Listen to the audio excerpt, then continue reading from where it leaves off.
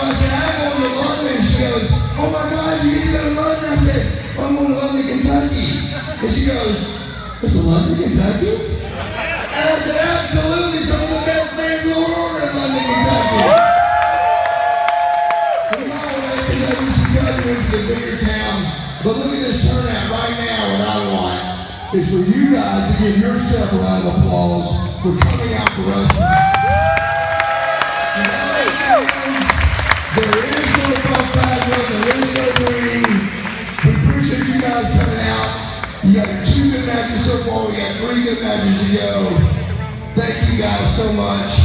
Really, really appreciate it. And I just want to tell you guys, I drove six times to get here and was excited to get here for you guys.